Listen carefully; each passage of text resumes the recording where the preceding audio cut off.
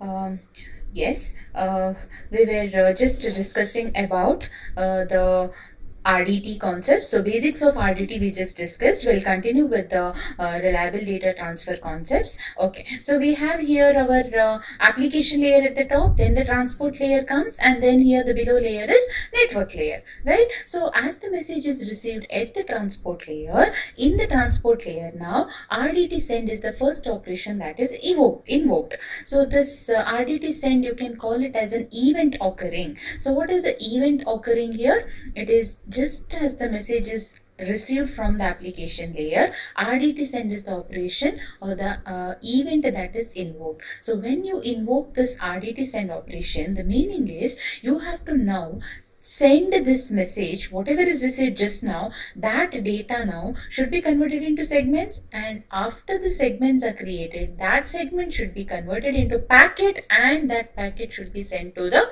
below layer here. And what is the below layer here? It is network layer. See here, students, I am speaking about transport layer running at the sender side only Okay, you can just see here send means what? Here, here, here we are at the sending side. So at the sender, we have the application layer where the user types the message and that typed message is sent to the uh, transport layer here at the sending side. And once it is received at the transport layer, TCP will take over anymore and the TCP will convert this message into segments and that segments will be uh, uh, later uh, sent to the next below layer at the sending side and that below layer here is network layer, right? So here immediately as the data is available at the transport layer, RDT send operation is invoked and once this event is uh, once this event is invoked immediately the action that has to be uh, uh, that action that has to be performed here is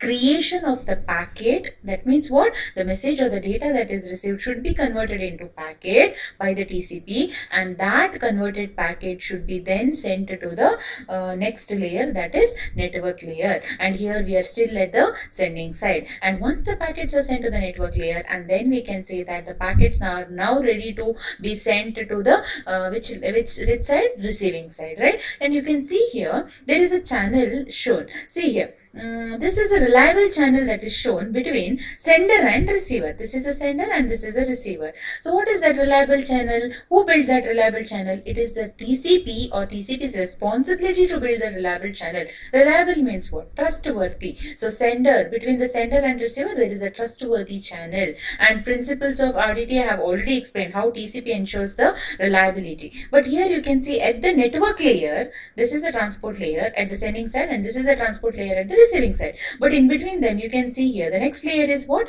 The network layer. So network layer cannot provide reliability. So instead it provides what? Unreliable channel. That means what? Network layer cannot provide the uh, ordered delivery service or it can be the error mechanism service. All those services network layer cannot provide. So it provides actually unreliable channel. So you can just see here some of the operation at the sending side. What about the receiving side? At the receiving side again who will receive? See uh, receiving side it is from bottom to top correct? So sending side is just from top to bottom. Whereas at the receiving side first physical layer will receive then data link layer then network layer. So once the net network layer receives the data it is in the form of packets. And from the network layer at the receiving side it will be sent to the upper layer. What is that upper layer? It is transport layer. Now here also tcp is running. So anymore tcp will take over at the receiving side. So here you can see event that is performed. What is that? As and when the packets are received rdt receive is the event that is invoked at the um, uh, receiving side. And here once this rdt receive is invoked immediately the tcp should ensure that the data that is received in order and it is uh, in the proper format that is not corrupted or something. So once once the data is proper, what the TCP should do? Extract the packet, extract the message out of the packet and that extracted data should be delivered to the upper layer. So which is upper layer here at the receiver side finally? It is application layer. So finally the user is going to read that message. So delivery of data is done at the receiver side So TCP only should uh, deliver the final data to the uh, receiver at the receiving side. Okay. So here the operations, please you remember at the sending side two operation RDT send and UDT send. So what does this UDT send indicates? UDT means what? Unreliable data transfer. So the moment you invoke this UDT send, the meaning is you have converted the data or the message into the packet and that packet you are transferring to the next below layer that is network layer and the network layer actually provides unreliable unreliable channel or you can say here unreliable data transfer will happen at the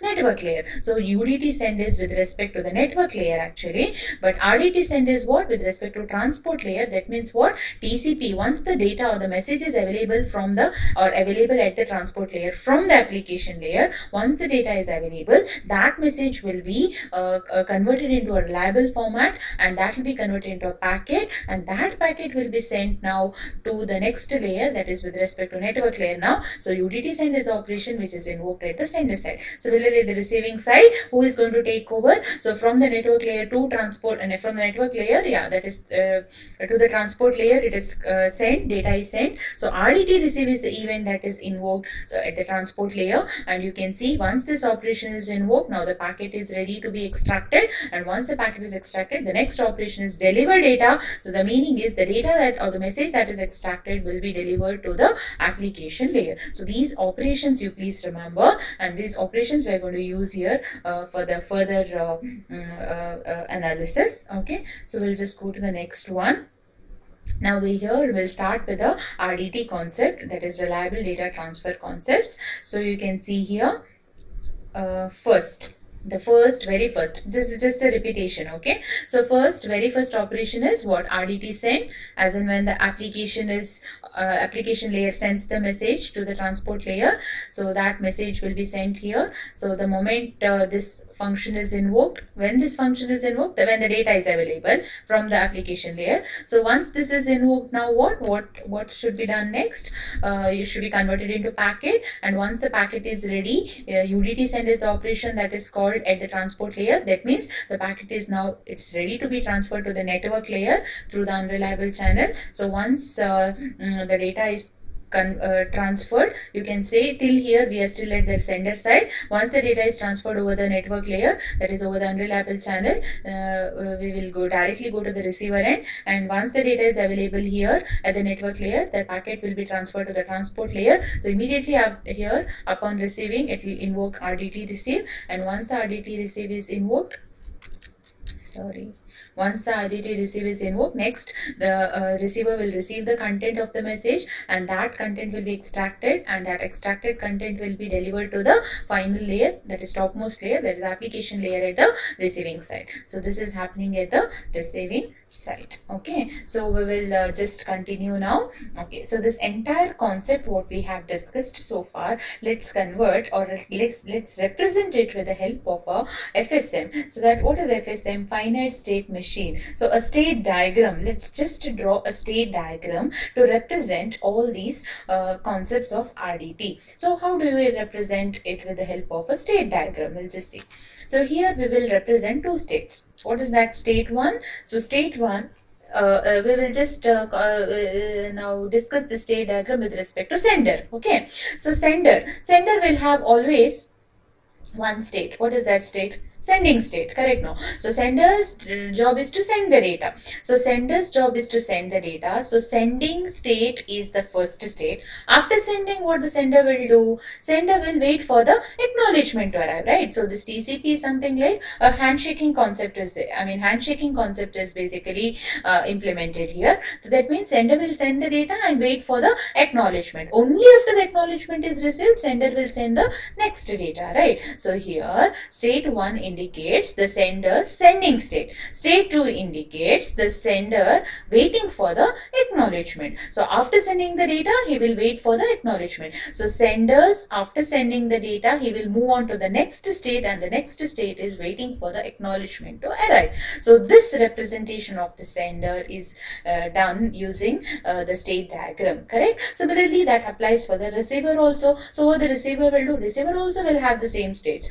So receiver state is receiving the data. So once he receives the data, next next state is what? We will move on to the next state. What is that? Sending the uh, um, uh, waiting for the next data to arrive. So once he receives the data, his next job is send the acknowledgement. So after sending the acknowledgement, what is he supposed to do? He will wait for the next data to arrive. Correct. So these are the different states of the receiver. So this is uh, how you represent the state diagram. You can just see here.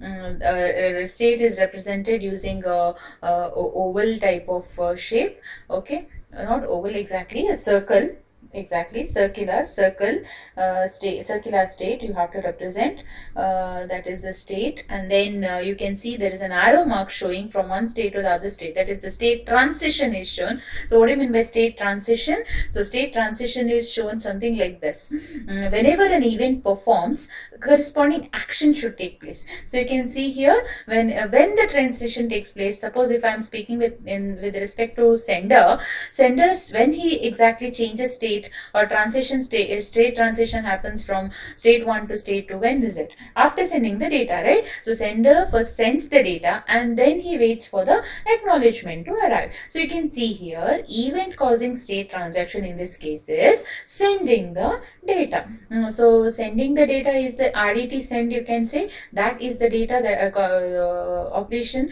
or the event occurring here. And what is the action that has to be performed here First send the data, RDT send is the event and what is the corresponding action that is to be taken that is with respect to sender. Here we are speaking with respect to sender. So once the sender sends the data, how is he sending the data? He has to create a packet and that packet should be sent to the network layer at the sending side. How is he sending to the uh, sending the packet to the network layer with the help of an operation UDT send. Correct no? So event upon here event occurring is what? The state initially initially the state will be uh, you can say it's a rest state initially. So once the data is available from the application layer, that is from the top layer, once the message is available, immediately an event should occur. What is that event? RDT send is the event. So what mean what in the RDT? Message is ready from the application layer. That message should be now sent to the network layer. So how do you send that message to the network layer?